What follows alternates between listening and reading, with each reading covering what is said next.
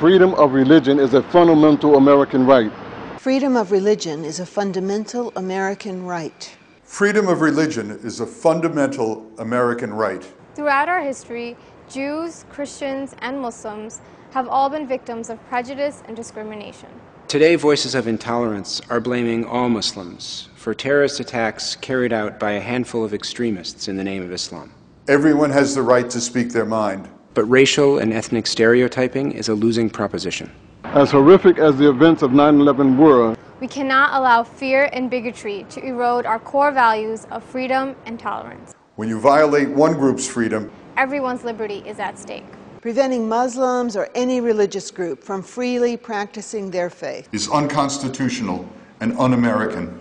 Our laws give all religious groups, including Muslims, the right to establish places of worship.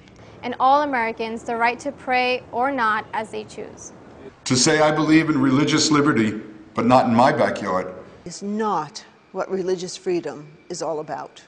in times of controversy, we demand That our government provide equal protection to all religions. And we must stand up against those who seek to trade away our civil liberties and our religious freedom for political advantage. in the end, I believe that tolerance and fairness will prevail. In the end, I believe that tolerance and fairness will prevail. In the end, I believe tolerance and fairness will prevail.